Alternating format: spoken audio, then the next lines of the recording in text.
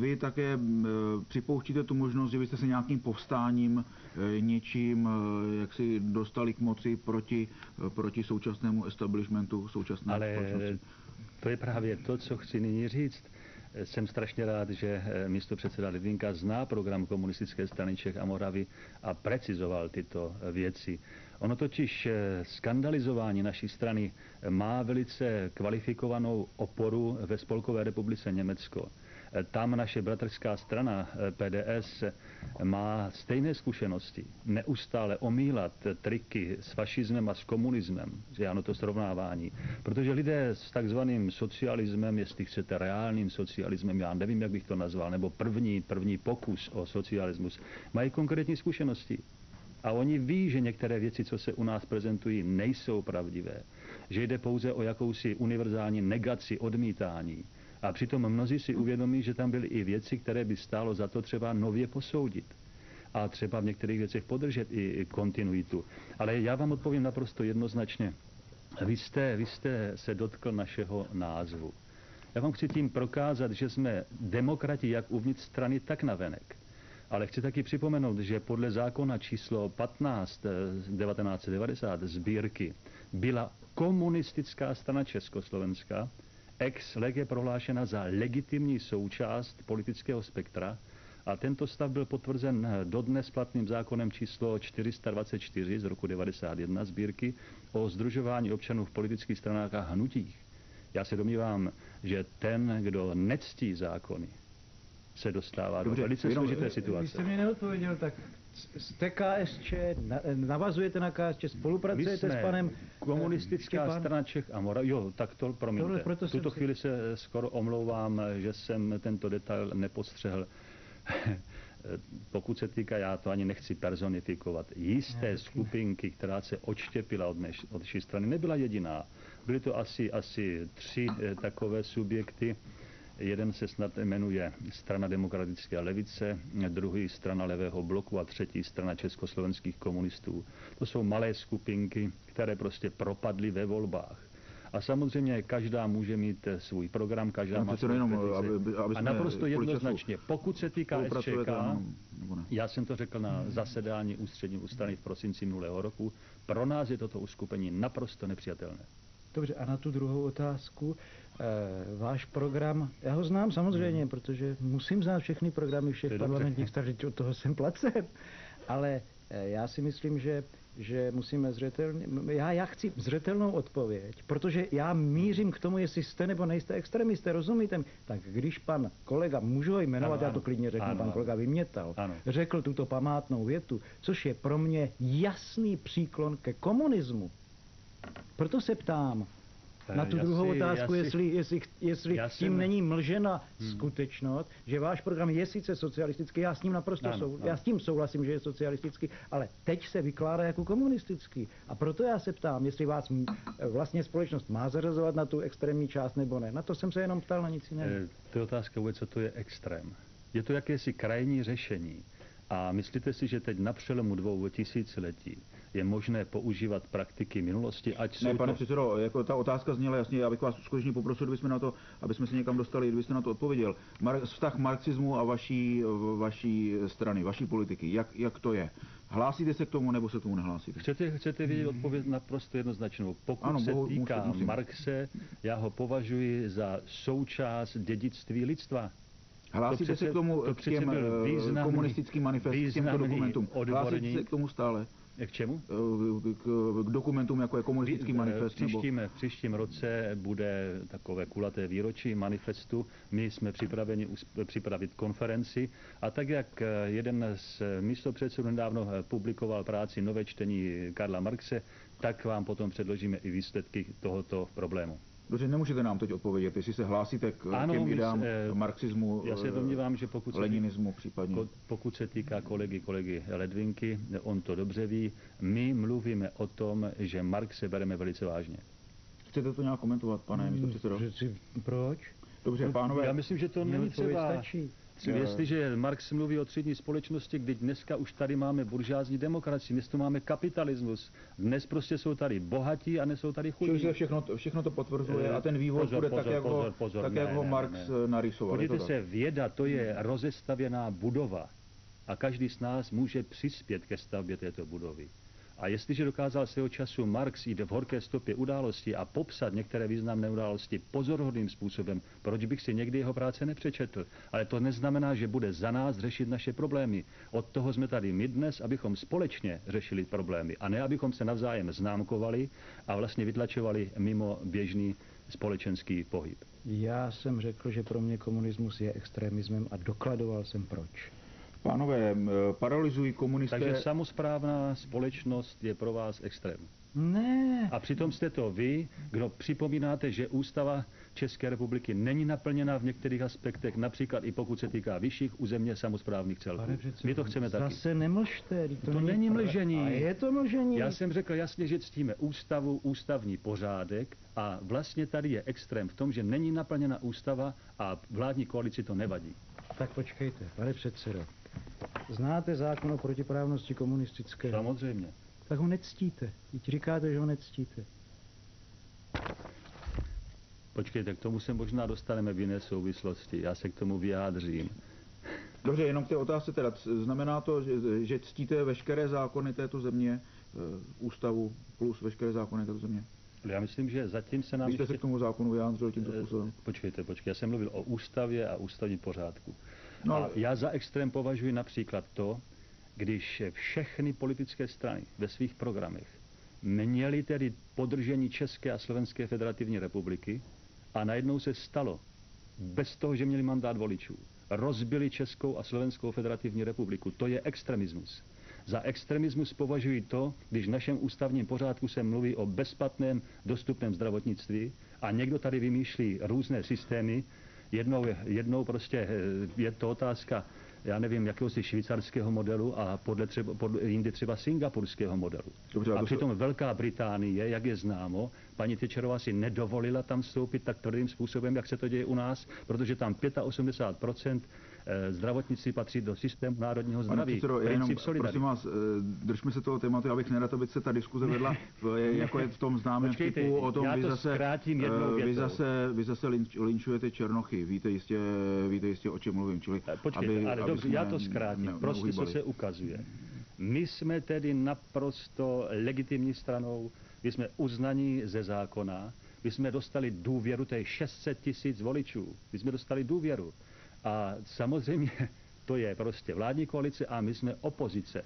Jestli toto považuje někdo za extrém. Dobře, vážený... pane předsedo, respektujete i tento zákon, pokud se hlásíte k ústavě a tak dále, nebo ne?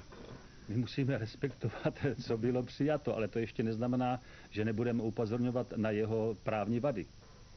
Ano. Eh, co k tomu dodat? No já nic. Dobře, pánové, eh, ještě jedna otázka. Eh, myslíte si, že komunisté a republikáni paralizují případně paralyzují s tichou podporou sociální demokracie činnost zákonodárného sboru poslanecké sněmovny. Co vy na to jako místo předseda?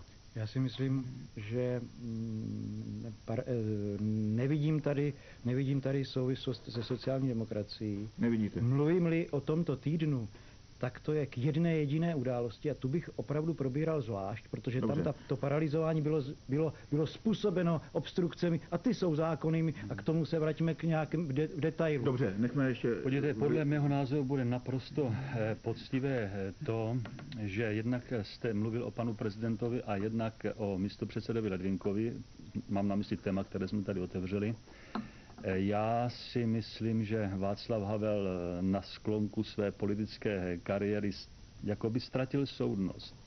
Myslím to zcela vážně. Konec konců já jsem oslovil prezidenta mnoha, mnoha dopisy, velmi slušnými dopisy. Odpovědi nepřicházejí. Já nevím, jestli to má na starosti tam vedoucí kanceláře pan Medek nebo kdokoliv jiný. Přitom v minulosti jsem měl možnost se s prezidentem několikrát setkat a bylo to věcná, užitečná jednání. No, Ale to já... znamená, že ztratil, ztratil soudnost. To, že vás označil za, já můžu za být stranu, konkrétní. která Podívejte se, republice. bude poctivé v tuto chvíli, abych panu Ledvinkovi sdělil je následující. Eh, my jsme, já ten výrok, já jsem vycházel z toho, co jsem opravdu zaznamenal v ČTK nebo, nebo v televizi, eh, tak jsem ho označil za hloup a nejenom proto teda, že je žalovatelný ale my jsme skutečně přikročili k tomu, že jsme okresnímu státnímu zastupitelství v Hradci Králové dali podnět k trestnímu stíhání. Nebudu zdržovat, budou to jenom drobnosti, které připomenu. Říkáme tam, jsme přesvědčeni, že výše uvedeným výrokem naplnil Karel Ledvinka skutkovou podstatu trestného činu hanoběním národa, rasy a přesvědčení ve smyslu paragrafu 198 odstavce 1 písmenem trestního zákona, neboť veřejně hanobil skupinu obyvatelů republiky pro jejich politické přesvědčení, vydržte chviličku, vzhledem k osobě, formě veřejného přednesu, jeho politického dopadu i četnosti eh, skupin obyvatel, jich se výrok dotkl. Pokládáme toto jednání za vysoce společensky nebezpečné a bude poctivé, když vám sdělím, že jsme podali i žalobu tedy na městský soud do Prahy, žalobci jsou všichni členové poslaneckého klubu KSČM. Vy jste tedy žalovaný jako místo předseda občanské demokratické aliance a místo předseda poslanecké sněmovny. Dobře, pane tady, tady, čas, ne, počkej, čas, ano, souhlasím čas s tím, souhlasím s tím. Hmm. Jednu jedinou věc, kterou z toho ocituji, prosím vás, to znamená, my navrhujeme vydání rozsudku, a jsou to jenom tři body, čili, čili bude poctivé, aby to pan Ledvinka věděl, aby to věděli diváci. Říkáme tady, žalovaný je poven, to je ten náš návrh, ano, do tří dnů od právní moci rozhodnutí. Za prvé, zdržet se neoprávněných zásahů do práva na ochranu osobnosti žalobců výroku, výroky, které by je urážely a znevažovaly v souvislosti s jejich členstvím v komunistické straně Čech a Moravy. Za druhé, veřejně poskytnou České tiskové kanceláři a ČT1 omluvu ve znění. Omlouvám se žalobcům za výrok označující jako členy komunistické strany Čech a Moravy, za lůzu a spodinu lidské společnosti, proti které se musíme začít bránit. A poslední, na nejbližší schůzi poslanecké sněmovny parlamentu České republiky se každému z žalobců veřejně omluvit slovy, omlouvám se za výrok označující vás v souvislosti s vaším členstvím v komunistické straně Čech a Moravy za lůzu a spodinu lidské společnosti, proti které se musíme začít bránit. Tak, uh, Poslední poznámka, velmi krátká, velmi krátká. Nekupčíme z naší ctí, a nepožadujeme finanční odškodnění. Tak, eh, pane místo předsedo, chcete se k tomu, k tomu tomu nějak vyjádřit? Já si myslím, že jsem slíbil eh, kolegům z KSČM, že to dnes vysvětlím a vysvětlil jsem to za druhé. Eh, za druhé, tím, že jsem to vysvětlil, tak je, myslím, zřetelné všem občanům tohoto státu, koho jsem tím myslel. Za třetí, já jsem tady ale slyšel věc, lidi, které tady rázně, ale opravdu nesmírně rázně vystupují.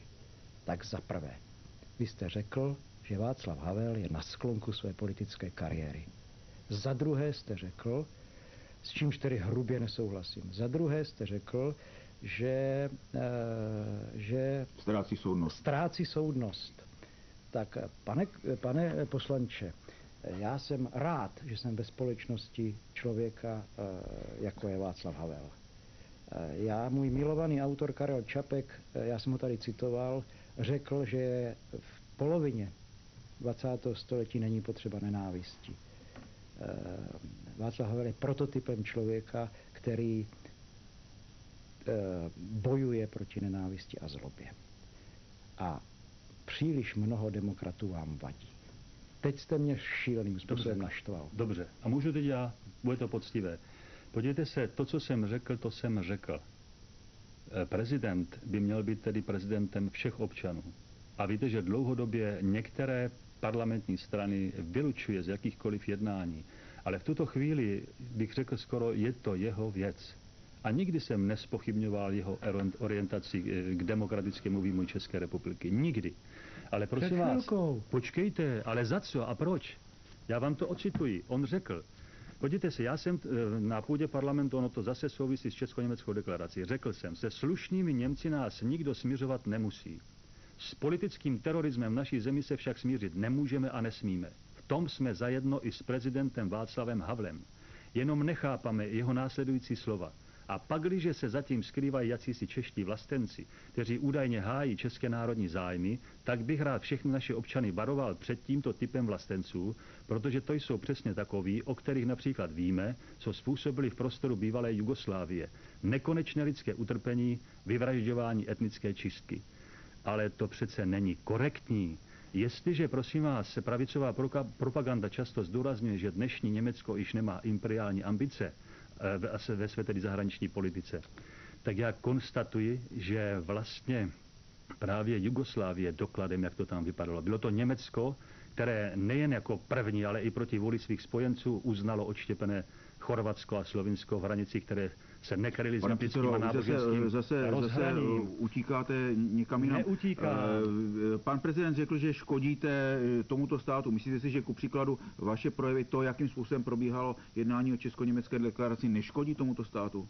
Ne, my jsme měli opravdu kvalifikované vystupování. Ať to byl předseda klubu doktor Vojtěch nebo generál Vacek, ale já bych mohl jmenovat každého. Já se nestydím ani za to, co jsem tam přednesl já.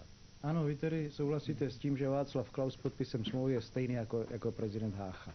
Pozor, pak, to je vytržený výrok. Ne, není to vytržený, padlo to tam, padlo. A já, také, já, vy jste také... autorem, vy jste autorem toho výroku. Počkejte, zaprvé to na půdě parlamentu vůbec nepadlo. Padlo to v jiných souvislostech na Hračanském náměstí a já jsem řekl, že na rozdíl tedy od Háchy, který byl donucen tím, že se vyhrožovalo ze strany fašistického Německa, že bude bombardovaná Praha, Václav Klaus v takové situaci nebyl. Pozor na to.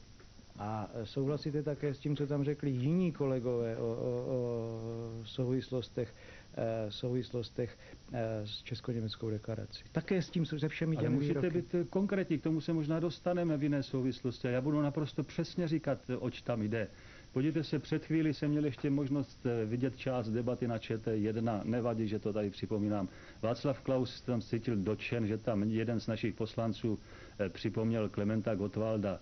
No jestli někdy řekl, že není Němec jako Němec, no tak přece eh, proč bychom nemohli některé věci připomínat? Ne, A co pak Gottwald nebyl známý tím, že šel proti tedy německému fašismu? Pane kolego, eh, tam zaznělo, zaznělo přesně, citovat bych to neuměl, proto to neodmítám přesně citovat, ale svými slovy si dovolím říct, že jediný prezident, který stál za to bojovat proti, proti Němcům, byl, byl Klement Gottwald. Je to tak. Podívejte, ale v tuto chvíli si myslím, že narážíme na něco, co je nad rámec tohoto pořadu a hlavně nad rámec jednání poslanecké sněmovny. Já jsem sám na to upozornil, že vědecké disputace bychom si měli nechat někam jinam. Tak jste je měli nechat někam jinam? Nebyli jsme to my, kdo tam obhajoval, obhajoval takzvané sudecké Němce a kdo tvrdil, kolik utrpení tedy ze strany Čechů. Když jsme u toho výroku, pane, eh, pane předsedo, jenom, jenom krátce pro upřesní, eh, máte pocit, že tedy Hácha jednal s Němci, eh, že Václav Klaus jedná s Němci vstřícněji než Hácha. Rozumím tomu správně? Kdybyste odpověděli jenom na tuto otázku. Na to, protože si hmm. myslím, že to bude poctivě naprosto jednoznačně. Vývoj ukáže, kdo měl Ne, ne, ne, zkuste, Vývoj zkuste ukáže, říct, zkuste, kdo má pravdu. Zkuste na to odpovědět, Já pane předsedo, bude upřímný jasně. a zkuste říct. To znamená, že si myslíte, že spíše ano, spíše je Václav Klaus vstřícnější než Hácha. Já jsem, já jsem prosím vás řekl v tuto chvíli, že vývoj ukáže, o co jde. Protože nyní teprve mohou přijít právní kroky naplňování této deklarace. Chcete to nějakým způsobem komentovat? Eh, já jsem zase přesvědčený o tom, že eh, kolegové ze SPRS a KSČM eh, dělali obstrukce, jsou legitimní, dělali obstrukce při přijímání česko-německé deklarace proto, že se v krátké době ukáže, že ta kritika byla špatná. E, to byl hlavní důvod obstrukci a z žádostí na nepřijetí. Dobře, pánové, děkuji za názory k této věci, pojďme na další den.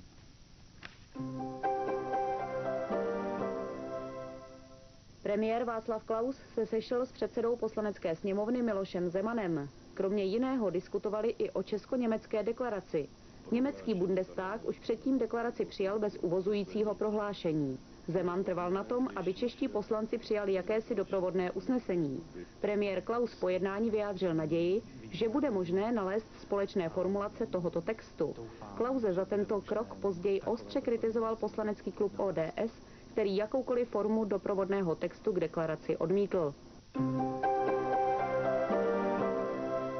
Takže já bych tady měl dvě otázky, prosil bych o stručné odpovědi. Myslíte si, že ten způsob, jakým byla deklarace projednávána, znamená pro nás mezinárodní ostudu? To znamená, že jak si národ jsme se vyčlenili trošku z, z společenství slušných, eh, slušných národů, nebo ne? Zkuste na to odpovědět vy, pane předsedo. Mluvilo se tady o tom, že to byla zvláštní atmosféra. Ano, byla to obrovská kampaň. Konec konců, co si budeme povídat... Eh, Čí kampaň, vaše nebo... Ne, ne, ne, sdělovacích prostředků, nebo... sdělovacích prostředků. Eh, konec konců 80% našich sdělovacích prostředků je v rukou německého kapitálu. To za prvé. Eh, za druhé chci připomenout, pokud se týká obstrukcí, já se domnívám, že tady by bylo poctivé, eh, pane místo předsedo, říct, že je podstatný rozdíl mezi přístupy poslanců komunistické strany Čech a Moravy a republikánů. A za třetí se domnívám, že bude naprosto poctivé a budete teď opravdu, můžete být naprosto klidný. Jenom rozdíl, rozumím pane... tomu technicky. Ne, ne, ne, ne, ne, ne, ne, ne. Vy, Vy jste tady... postupovali podle zákona. Ano. Obstrukci. Je to Souhlasím. Tak, tak, děkuji. Ale prosím vás, teď bude naprosto poctivé to, co tam skutečně zaznělo z našich úst, co jsme navrhovali... Ne, pane, ne. pane předsedo, nezlobte se. Protože... Nezlobte se, odpověďte na tu otázku. Je to ostuda nebo není to ostuda? Je, Takže nebo, nebo jestliže ne? je ostuda, když jsme navrhli za prvé dobré sousedství a společná budoucnost České republiky a Spolkové republiky Německo, mohou být založeny nejen... Ne, já na... nemluvím, já vám Počkejte, věřím, já nemluvím o jednom, o, o jednom vašem návrhu. Jen na rovnoprávnosti vzájemné úctě celý ten týden, na a pravdivém výkladu. Na způsob, jakým to bylo projednáváno. Ne, vy se snažíte skandalizovat ne, ne, stranu Čech a Moravy a nedáváte prostor divákům k tomu, aby věděli pravdu, co jsme tam doopravdy řekli. Takže já to zkrátím a uvedu pouze dva body z toho všeho.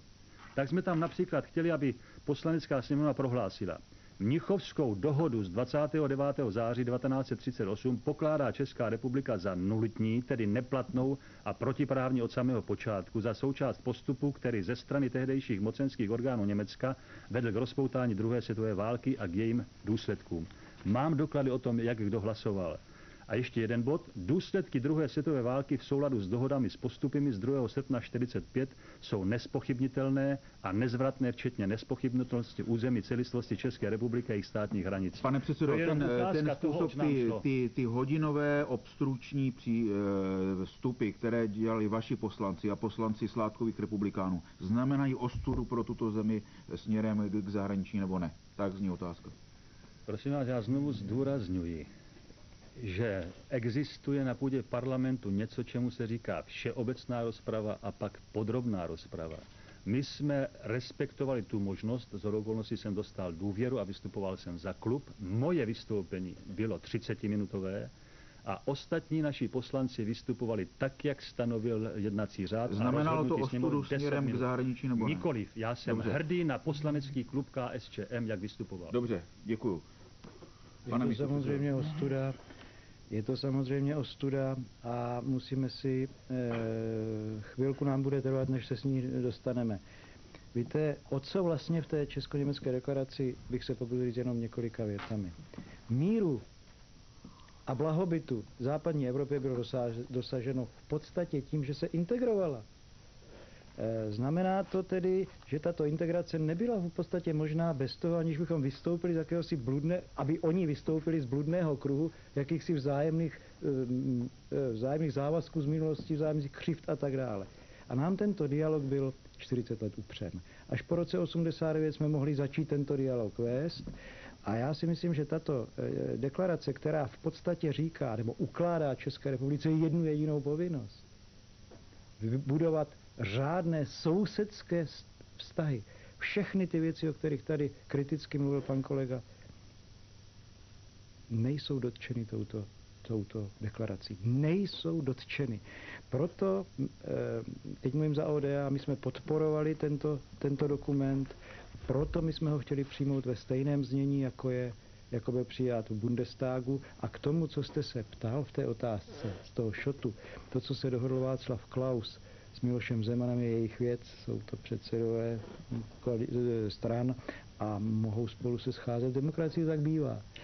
A co se dohodlo s poslaneckým je taky jejich věc. Já jsem spokojený, že to, že to bylo Dobře, přijato. Jenom, jenom krátká otázka na vás na oba. Myslíte si, že to usnesení uh, uvozující nějakým způsobem devalvuje tu deklaraci staví někam jinam nebo ne? Musím říct toto. My jsme se s Václavem Klausem a Josefem Luxem koaličně ve Trojice dohodli a pověřili jsme své vyjednávače, aby jednali s, česk, eh, s Českou stranou sociálně demokratickou, jejíž vyjednávačem byl pan Gross na jedné jediné věci. Přijmout deklaraci, přijmout co největším počtem a přijmout i tak, jako byla podobná ve Spolkové republice. Pro mě to, na čem jsme se tyto čtyři strany dohodli, je dostačující a podle zpráv, které máme z Bundestagu, jsou je odpovídající. Dobře, e, krátká odpověď, pane to tak, ono někdy přes eh, televizní obrazovku to vypadá, jako kdybychom byli všichni rozhádáni a tak dále. Ale tady to bylo řečeno, tam probíhají jednání, proto si myslím, že v tom finále, finále tedy tolikrát právě vládní koalice žádala o přestávky a mohlo by se to zdát taky jako obstrukce, ale bylo to prostě normální. Pane předsedo, já jsem se ptal jenom na to uvozující, skončím, uvozující skončím to. Eh, z, těch, usnesení. z těch uvozujících usnesení pro mě osobně a možná i pro mé kolegy z klubu eh, bylo zajímavé to, co tam předložil eh, sociálně demokratický poslanec za Orálek, jestli se nemýlím, protože v jeho návrhu se nemluvilo už přímo o schválení deklarace. Pane předsedo, to jinak vám... tak, jak bylo přijato, devalvuje tu, eh, tu deklaraci? Skončím, skončím tím, že ostatní ty návrhy eh, jasně říkali, že jde o souhlas s deklarací, pro nás to bylo nepřijatelné. Konec konců my jsme to vyjádřili v hlasování, jak eh, pokud se týká tohoto návrhu doprovodného, tak k samotné deklaraci. Tam nejde o nějakou devalvaci, tam jde o to, že přístup Miloše Zemana i Václava Klauze potvrzuje, potvrzuje, že sami vnímají problematické aspekty deklarace a jejich možný dopad. Říkám to ze vší vážnosti, konec konců jednání probíhala a věřte tomu, že jsme nebyli mimo hru. Chcete k tomu něco dodat? Proč? Dobře. Pánové, děkuji, pojďme dál.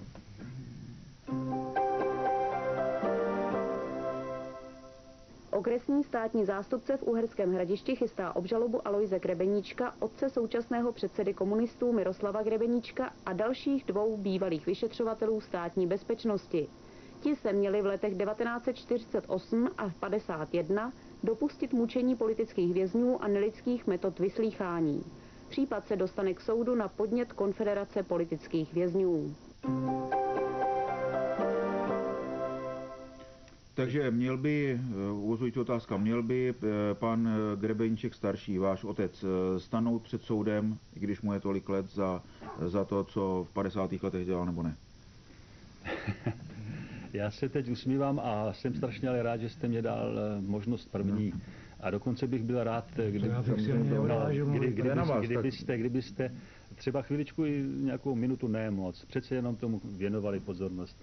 Podívejte se, já se sám domnívám, že eh, svoboda tisku není svoboda lží a dezinformací. To za prvé.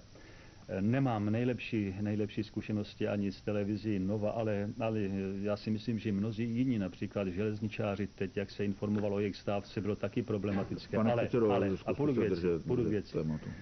Eh, vy jste řekl, nebo tady v tom zaznělo, že snad Konfederace politických vězňů dala nějaký podnět já tady mám jeden výrok z 29. října 96, kdy novináři říkají, oslovili jsme jednoho z pracovníků Úřadu pro dokumentaci a vyšetřování zločinů komunismu a právního zástupce Konference politických vězňů České republiky Judr Jana Pospíšila.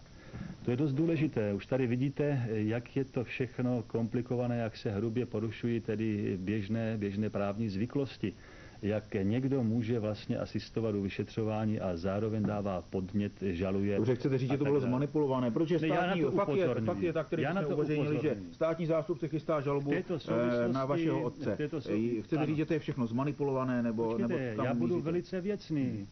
Takže nemůžeme, nechtějte vy se mnou manipulovat v tuto chvíli. Já s vámi nechci manipulovat. Ne, já teď dobře víte, že říct, že odezvy celé, na způsob, jak celé... někdy řídíte tu sedmičku, jsou někdy velmi negativní. A ne, že by to dělali komunisté profesionálové. Profesionálové. Takže prosím vás, já konstatuji, že... Se, prosím ano, vás, teď to, držte se věc. Ale dej mě, dejte mi prostor. Takže já v tuto chvíli chci konstatovat, že jsme se zmínili tedy o jistém zákonu a o úřadu dokumentace a vyšetřování. Mám na mysli tedy úřad pana Václava Bendy. Jde o politickou instituci. To chci zdůraznit. Eh, dokonce i Václav Benda řekl, že se liší od jiných standardních policejních orgánů, které by měly být nadstranické a nestranické. A dokonce se tvrdí, že vlastně tento úřad nemá obdobu v celé postkomunistické eh, Evropě. Víte, že se nedodržuje prezumce neviny, Mám na mysli třeba skandalizování Zdeňka Mlináře. Je to vždycky účelové, načasované před volbama, pak to vyšumí a zase, až se to hodí, prostě... tak se to, tak se, se to prostě jako já otvírá. tady vás musím přerušit, držte se toho. Jako nej, nemůžete si stěžovat, že byste byl diskriminován tak, kvůli tomu, jste tady v tomto pořadu. Jinak bychom vás sem nezvali. Ale prosím vás, respektujte ta pravidla a držte se toho, na co, jsem, na co jsme se ptali. Takže v tom Neotvírejte případě, další věci kolem Prosím vás, tak zkusme to jinak. Zkusme to jinak. Já jsem tady obdržel zajímavé noviny, svobodné noviny, tam se je článek svědectví o zločinech komunismu a je to přečištěno z publikace stále Mezinárodní konference o zločinech komunismu, sborník přednášek dokumentů z 5. 6. z 5. a 6. října 91. A toto bude ale zajímavé a zkuste mě dát prostor. Budou to dvě minuty. Říká se tam, že bylo zahájení trestní stíhání některých vyšetřovatelů bývalé státní bezpečnosti, kteří na přelomu 40. a 50. let působili v Voleckém hradišti. Jen pro úplnost je třeba připomenout, že do skupiny výše zmíněných vyšetřovatelů STB patřil také otec současného předsedy komunistické strany Čech a Moravy Alois Grebeníček. Pak se tady dává opis dokumentu z 14. března 49 adresován ministerstvu spravedlnosti a opravdu se tam říká, že o ukrutnostech páchaných v Ureckém radišti se mezi obecenstvem hovoří. Jediným vhodným opatřením by bylo vyšetření případu eh, mezi ministerskou komisí, uvalení vazby na pachatele, předání pak potrestání k soudu a uveření případu, aby bylo jasno, že týrání vězňů není dovolené, ale že je i trestné. Podepsán eh, senátní předseda státního soudu. Šetření proběhlo, bylo zjištěno, celkem tedy podrobnou lékařskému vyšetření 63 osob, z nich 28 uvádělo různé druhy inzultace. Mezi nimi jsou například Josef Kalčík, tady se říká narozen 9.2.21 v Brtnici, kovář tlučen do obličeje a hlavy, ponechání v dřepu a předpažení tak dlouho, až dvakrát padl, přičemž inzultován. Eh, ještě jeden moment. Eh, další tam byl docent doktor Vladimír Kluska, narozen 29.8.1909. Čebín, lékař, inzultován v obličí a tučen po šlapkách. Vážení to odeznělo. A teď, a to je důležité, tím skončím. Je tady prohlášení člena konfederace politických vězňů, právě zmiňovaného Josefa Kalčíka z Brtnice. A on říká, začátkem června tohoto roku vysílala Česká televize v pořadu na doraz relaci o poměrech ve věznici STB v Uherském radišti. V této relaci jsem prohlásil, že doktor Kluska byl surově zbyt od vyšetřovatele Aloise Grebenička. Toto prohlášení bylo naprosto nepravdivé. Vědomí o této události se mi dostalo někdy v lednu neb únoru 1949. Protože naše skupina byla velmi tvrdě postižena, uvěřil jsem této zprávě a 47 roků ji uchoval v paměti. Když z nenadání přišli pracovníci České televize natáčet pořad o těchto událostech, řekl jsem tento výrok. Potom ale jsem vyhledal doktora Klusku, abych si ověřil pravdivost tohoto prohlášení. Byl jsem však šokován. Doktor Kluska prohlásil, že se tak nikdy nestalo. V této chvíli jsem si s hrůzou uvědomil, že jako věřící člověk jsem těžce ubližil panu Grebeničkovi. I hned po tomto zjištění jsem hledal možnost nápravy. Skončím to, Skončím to dvě věty. Kontaktoval jsem pana Grebeníčka, všemu vysvětlil a prosil o odpuštění. Slíbil jsem mu, že jej budu veřejně rehabilitovat, což jsem dnes na jeho přání což dnes na jeho přání činí. Pane Grebeníčku, ještě jednou prosím odpustte. Tak, nemůžete si stěžovat, že jste prostor nedostal. Tak, Chcete, chtěl jste tím říct jenom to, že to, že státní zástupce chystá žalobu na vašeho otce, je podvod celé, je to zmanipulované a váš otec je nevinen. nevinen. Já, Odpovězte, já prosím vás říkám, na toto. že toto trvá sedm let. Jde o mimosoudní persekuci. Jde o neuvěřitelnou účelovou kampaň a mnozí to označují za kampaň pro mojí osobě. V právním státě Dobře. by se něco podobného nemohlo stát. Tak, pane Tak, zákon se musí chovat stejně ke každému, ať má jakýkoliv tatínka, maminku, dceru, syna. Souhlasíte se mnou? Samozřejmě, doufám, doufám, doufám že, že nebude dělat máme rozdíl. nějakého urválka někde, že nepůjdeme taky vyzývat pracovní kolektivy, aby mě skandalizoval nebo otce, a abych se snad říkal... Pane místo předsedo, Děkuji. Buďte respektujte. Budu to respektovat. Souhlasíte s tím? Ano, v tuto chvíli Respektujte ta pravidla. Z hlediska trestního postihu je samozřejmě nezbytné počkat na výrok soudu o víně a nevíně a konec. A ne tady takhle. To, to, to mě mě nekorektní, jo? ale protože se jedná o otce, tak to chápu. Víte, ale podle mého názoru je tady debata celou tu dobu o jedné jediné věci. O morálně, chcete-li, lidských, lidských hodnotách. Víte, ten, ten rozměr je pro mě velice složitý. Komunisté se za své činy, za své zločiny dosud neomluvili. Mně nejde o to, že se neomluvili občanům této země, ale kdyby se aspoň omluvili těmto obětem. A pak by jistě vůbec nepřicházelo v úvahu, že by se trestně stíhaly věci, které by byly na pokraji nějakého, jak vy říkáte, nějakého zkreslení. A staly by se dokonce politickými. Kdyby byla dobrá vůle na této straně, tak jsem přesvědčen o tom, Hluboce jsem přesvědčen o tom, že by k těmto e, problémům vůbec nedocházelo. Protože já jsem bytostní demokrat. Mně vůbec nejde o to, aby někdo seděl v base.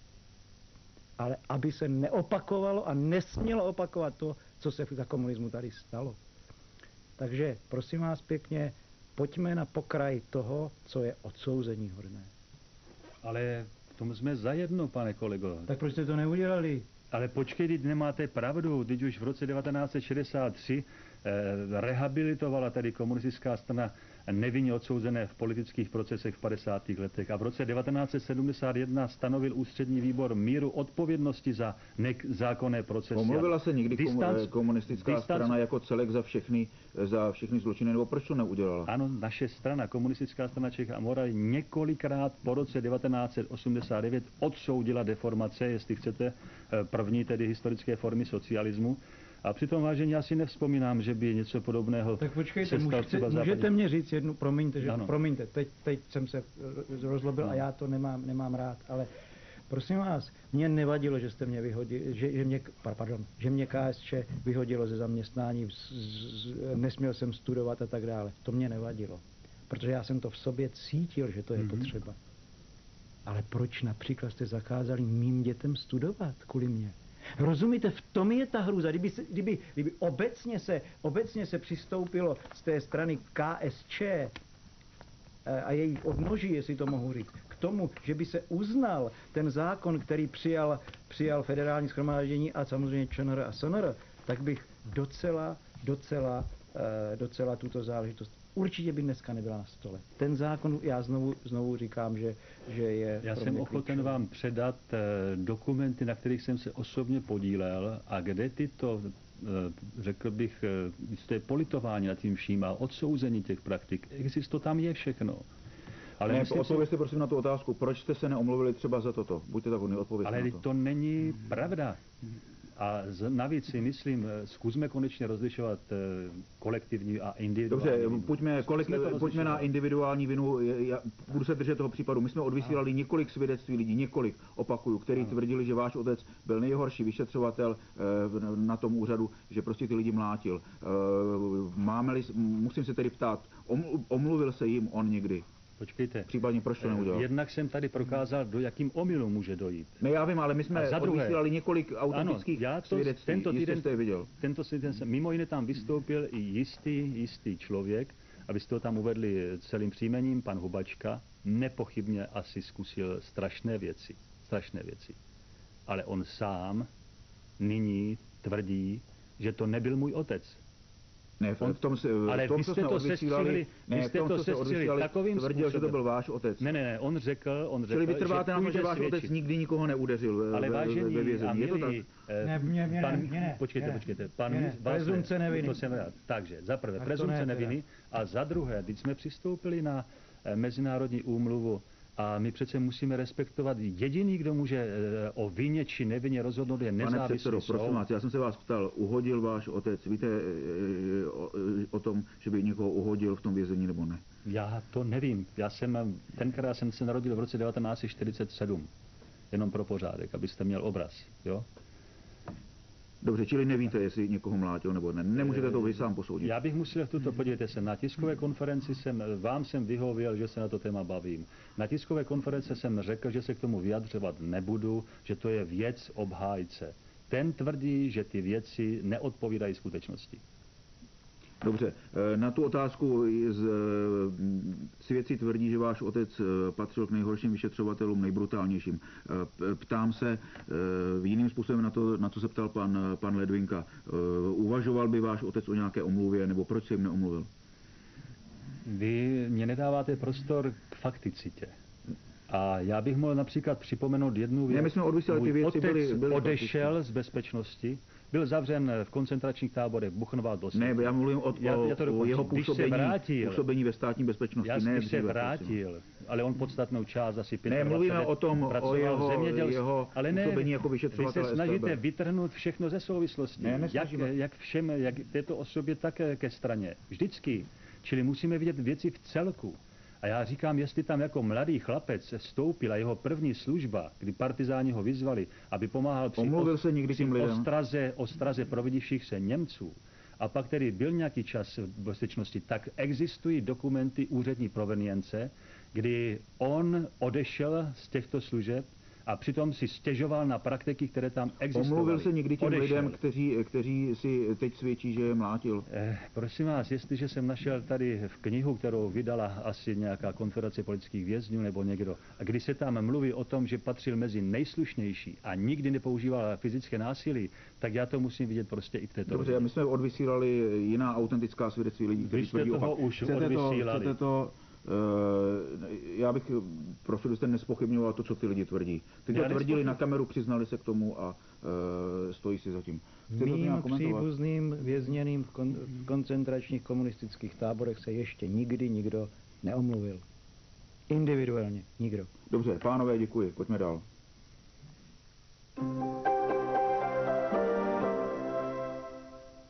Vláda na svém jednání rozhodla o úpravách platů ústavních činitelů a státních zástupců. Základní platy ústavních činitelů budou sníženy o 10% ale nárok na půlroční nemocenskou ve výši 100% platu ústavním činitelům zůstane.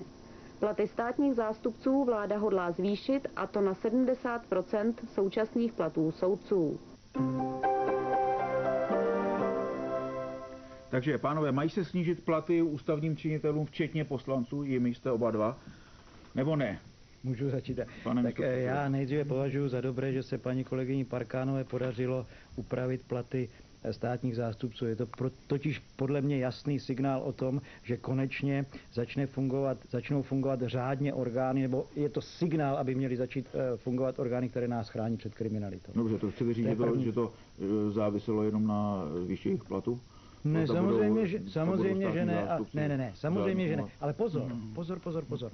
Tady je jedna věc, která ve světě bývá obvykle označovaná jako za velmi významným, významný prvek a to je to je jakási kompatibilita a, a úroveň e, společenská, platová a podobně mezi soudci a, a státními zástupci, aby mezi těmito dvěma profesemi docházelo k jakémusi prolínání. To je terminus technicus právnický a já si myslím, že je to dobře. Postavíte zhruba na stejnou Dobře. úroveň.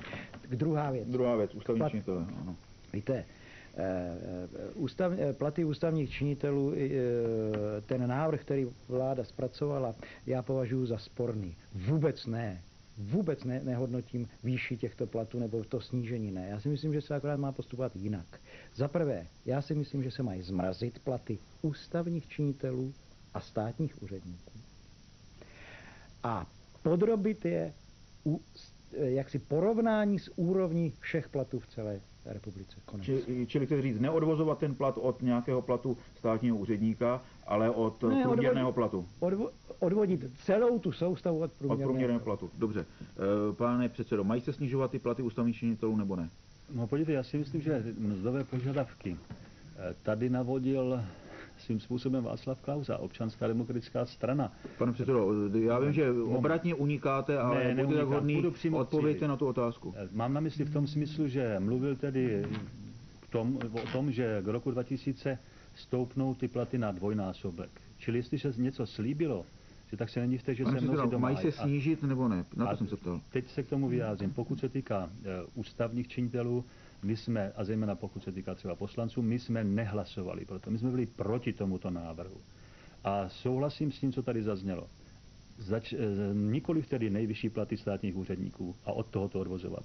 Ale zaměřme se na průměrný plat v této republice, anebo taky na minimální mzdu a od toho by bylo možné odvozovat další, Dobře, čili další jste kroky. proto, aby se platy ústavních činitelů, včetně poslanců, eh, nesnižovaly. Rozumím tomu Po- správně? Ne, ne, ne, pozor. Pokud se týká snižování o 3000 korun, to je populistické ges- gesto a nic neřeší. Čili jste proti tomu, aby se snižovaly? My jsme pro snížení, ale Platy daleko poslanců? principiálnější ústavních činitelů. Ústavních činitelů? A dá to úplně do jiných relací. A nikdy jsme nepodpořili to eh, vysoké oceňování, protože přece ta propast tady je obrovská. Dobře, čili podpoříte teďka eh, nějakou snahu vlády o snížení jejich platů. Rozumím tomu a správně? budeme v tom ještě iniciativnější a Dobře, budeme chcete to komentovat nějak? Ne, Ne, není to dobře. systémové opatření, takže hledejme Dobře, systém. ale v tom, se, v tom se shodnete. To znamená odvozovat to od průměrného platu. Průměrného možná budeme řešit otázku minimální mzdy, budeme asi řešit i otázky, otázky sociálního zabezpe, sociálních dávek, důchodců a podobně. Ne, prostě... ne, já mluvím, pánové, o, zase, zase neuhýbejte, mluvíme o platech ústavních činitelů. Ale ano, ale to má širší pojetí, to nemůže. Dobře, o, dobře, pan, pan Ledvinka navrhoval u, u, odvozovat to od průměrné mzdy, vy navrhujete odvozovat to od... Eh, v každém případě, pokud se týká tady té konkrétní kauzy státní zastupitele, samozřejmě, ne, ne, že, ale ono to s tím souvisí, že ano. Tam jsme samozřejmě proto, a dokonce si myslím, že by měli asi i nabit širší pojetí práce, to znamená jít cestou tedy dřívější prokuratury a rozšířit tedy o vše, všeobecný dozor a za více pane, práce pane, více ne, jako, eh, od čeho by to mělo být odvozováno? Posled, naposled řekněte to jasně. Platy Pan předseda řekl od minimální mzdy.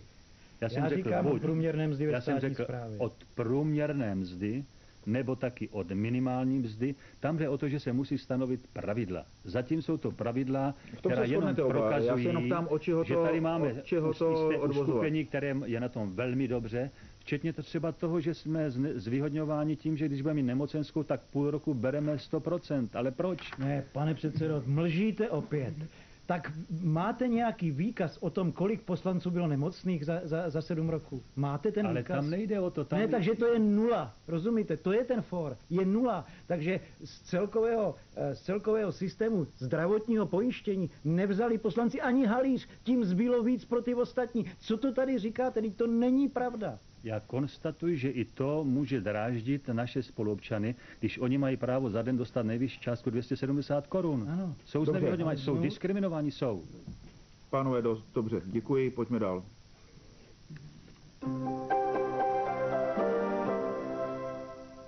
Členy vlády pobouřili výroky republikánů, podle kterých vláda zemi žene do područí Německa, neboť je podle republikánů složena z příslušníků nám cizích národností, a to židů, Poláků a bývalých sudeťáků. Vláda na svém mimořádném zasedání vyjádřila znepokojení nad vývojem ve sněmovně a rozhodla, že za této situace nebudou ministři přítomni při interpelacích poslanců. Součástí jednání vlády byla i úvaha o iniciování zákazu strany sládkových republikánů. Čili, pánové, prosím, otázka zní naprosto jednoznačně. Měla by se republikánská strana vzhledem k tomu, co provádí v poslední době, zakázat, postavit mimo zákon nebo ne? Tak. O zákazu stran se má uvažovat tehdy, nebo v okamžiku, to je dokonce ústavní záležitost, když ohrožují právo a svobody jiných. Terminus technicus. Eh, já si myslím, že zatím jenom nadávají a, a urážejí jiné. Eh, já si myslím, že je to netaktické. Ale samozřejmě, že ten institut tady existuje, ukončení činnosti strany pro některé ústavou dané, dané záležitosti. Ale já si zkrátka myslím, já se na to dívám trochu jinak. Víte, v parlamentu někde padají facky jako v Itálii, někde se napadají a podobně. U nás si myslím, že ne, i když tady akutní nebezpečí samozřejmě je, protože někteří poslanci SPRSČ chodí ozbrojení do sněmovny. Ale když padne občas facka v parlamentu, tak by mě to sice mrzelo. Ale přece jenom to ani tak lidem moc nevadí. Ale pozor, tady může padnout facka každému občanovi. Pozor, slyšíte to? Každému občanovi pro jeho politický názor. Vyspan dostal. A tady končí legrace. Čili pozor, pokud by to dostalo se, prokázalo něco takového, nějaká spojitost s politickými zád, tak pak nekompromis. Pak by se byl pro to. E, pane předsedo. My jsme svého času byli eh, přímo na půdě sněmovny atakováni právě poslancem dostále, možná si na to vzpomínáte, když se jednalo o naše společné usnesení proti republikánským výrokům. Eh, Pavel Dostál tenkrát pochopil, že se eh, mýlil vůči naší straně a šel se nám veřejně omluvit. Já si toho cením. Pane předsedo, zase uniká. Neunikám. Na Čili já prostě říkám naprosto jednoznačně, my nesouhlasíme s těmi vyhrocenými rasistickými eh, projevy některých členů nebo představitelů republikánské strany. Stejně tak nesouhlasíme, nevím, jestli to bude správný výraz, s těmi šaškovskými projevy, eh, které značně tedy, eh, řekl bych, znevažují institut interpelací Musím ovšem popravdě říct, že pokud se týká zákazu jakékoliv politické strany, tady nejsme, nejsme pro. Jsem si ovšem vědom toho, že vláda a prezident eh, toto právo mají, to je právo dát eh, podnět k nejvyššímu soudu. ale to znamená Dobře, zase shodnete se, v tom, shodnete se v tom, že, že spíš ne. Že není vhodné eh, stranu zakazovat. Jakoby, jakoby na půdě sněmovny převažoval názor, že jsou tady především voliči, kteří rozhodnou o tom, kdo z nás má právo pokračovat na půdě parlamentu. Ne, kdyby, kdyby pokračovala tato věc a přenesla se ze sněmovny na ulici, tak ulici, okamžitě byl jsem proto. pro. Dobře, pánové, děkuji. Já jsem pojďme, mluvil o parlamentu. děkuji, pojďme dál.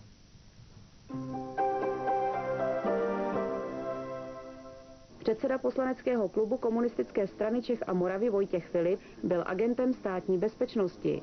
Potvrzují to členové komise 17. listopadu, kteří prověřovali případnou spolupráci polistopadových poslanců federálního schromáždění s komunistickou politickou policií. Filip tehdy přesto, že byl za agenta označen, odmítl složit poslanecký mandát. Takže pan poslanec Filip posceléze kritizoval ve svém projevu eh, pana prezidenta i vás. Eh, Žádá omluvu, dokonce snad dal podnět k vašemu stíhání. Eh, Máte pocit, že je to legitimní, má na to právo, nebo je to nehoráznost vzhledem k tomu, že jde o osobu, která byla označena komisí 17. listopadu za agenta? Tak jste se mě, ve sněmovně má, pokud nikoho neuráží, právo říkat cokoliv a eh, na tom právu já trvám. Pokud nez, nezneužívá imunity, tak má na to právo a vůbec mu k tomu nemůžu nic jiného říct. Já ale k té lustraci obecně, víte, pro mě je to jednoduché. Oda od komunálních voleb přes všechny, všechny lidi měli lustrované. A všechny strany, které mají v názvu komunistická, žádné lustrace neprovedly. Jako odpor proti lustračnímu zákonu. Já to docela chápu, ale ono to je úplně jedno totiž. Protože STB byla vlastně prodlouženou rukou KSČ a pokud jsem dobře informován, tak v některých strukturách dokonce na, existovala situace jakési neformální spolupráce bez nějakých vázacích aktů, tak se tomu úplně směju. E, ale řeknu otevřeně, že pokud agenti STB působí v soukromých firmách, tak je to věc jejich majitelů. Pokud by měli působit v nějakých firmách, které by byly strategické pro rozvoj České republiky, tak stát má zajistit všechno pro to, aby tito agenti, kteří už jednou zklamali, tak aby neudělali to tež. Čili te, proto ten lustrační zákon a proto to silné, pos, ten silný tlak náš. Ke kauze osobně, k jedné jediné kauze pana kolegy se nevyjádří.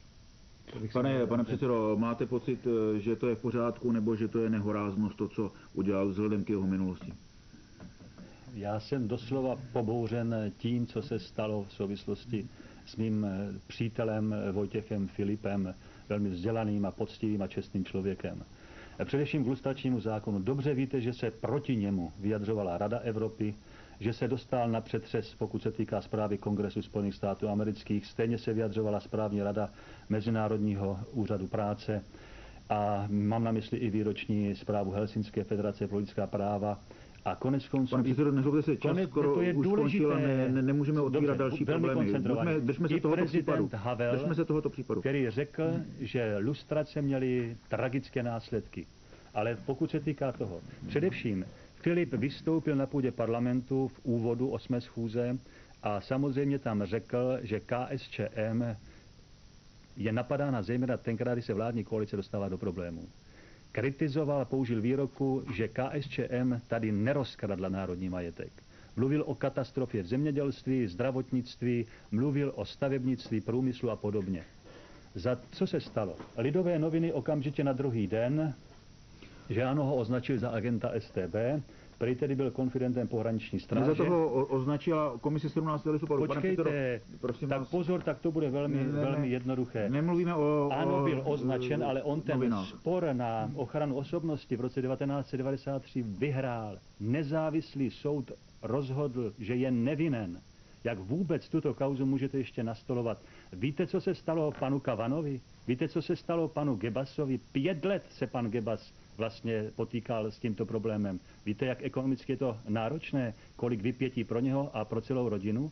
To je skandální. To není budování právního státu, to je znevažování právního Dobře, čili státu. si říct, že ten výrok komise 17. listopadu byl, byl nepravdivý. Ten výrok posoudil nezávislý soud a konstatoval to, co Já si myslím, teď že řekl. jestli soud... Formální Ale víte, co mě vadí?